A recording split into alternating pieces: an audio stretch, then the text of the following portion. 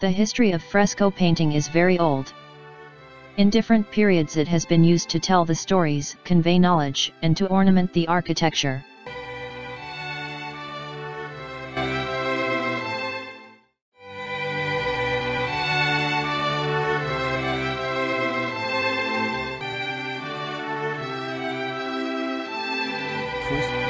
With the passage of time this technique got better and better. In start only the shades of black and red were used which were obtained from oxides of iron. However, more tones were incorporated gradually with the passage of time.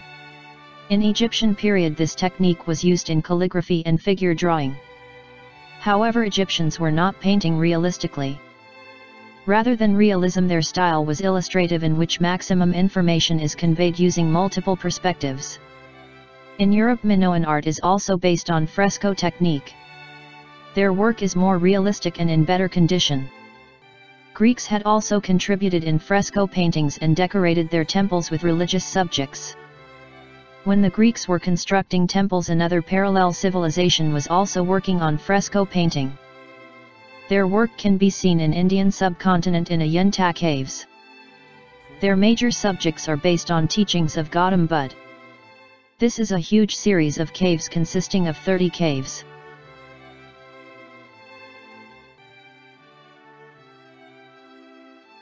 Romans developed this technique to paint very realistically.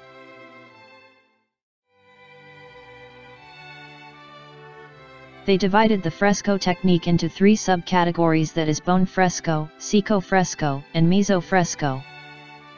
During Renaissance period Michelangelo, Leonardo da Vinci, and Raphael emerged as a legend. In Mughal period fresco was used to paint flora and fauna mostly to decorate the architecture. Figure paintings was not common in fresco painting. They decorated palaces and mosques so much beautiful that it looked like heavenly work. They painted very complex geometrical patterns and merged with the floral patterns. The most famous mosques in Lahore are Wazir Khan Mosque, and Maryam Zamani mosques where fresco art can be seen from the Mughal period. The work in mosques which was once one of a kind are now on decline due to mismanagement and carelessness.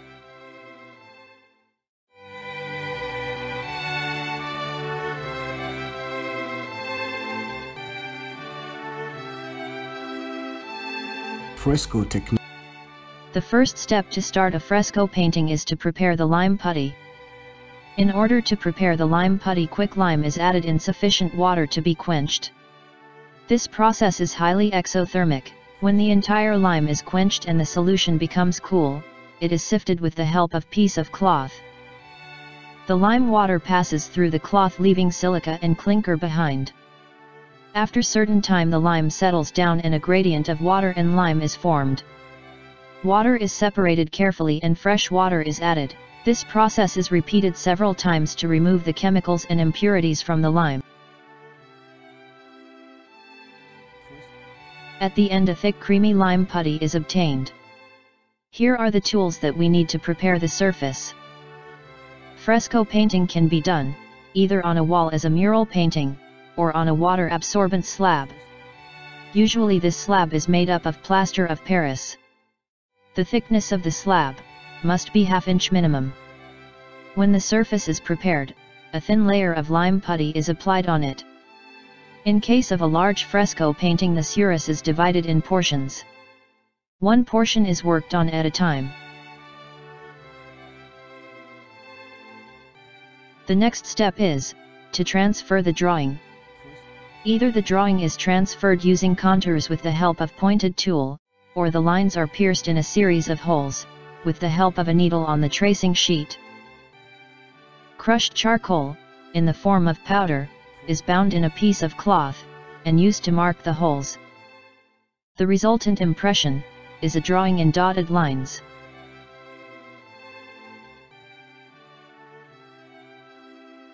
The well-grounded natural pigment is mixed with water, and applied on the lime surface. When the colors are applied in fresco, they have translucent effect like watercolors.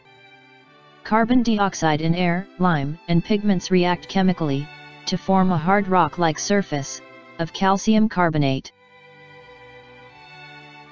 pigment become permanent part of that surface.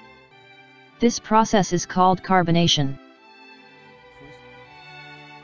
No other color binder is used, in buon fresco. Fresco painting is completed in steps.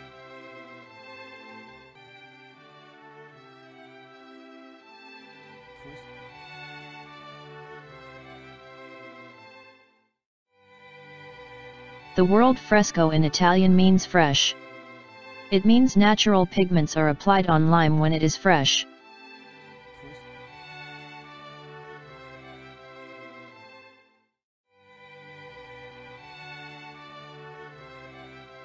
When one portion is complete its edges are cleared, so that the plaster of next portion becomes part of it. Same process is followed for each step. Fresco technique is very long-lasting technique and lasts for thousands of years, if done in a right way.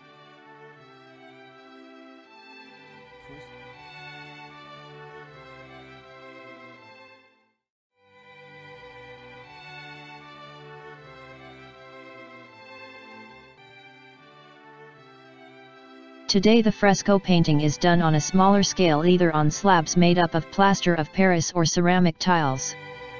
However fresco painting has a glorious and splendid past attached with it.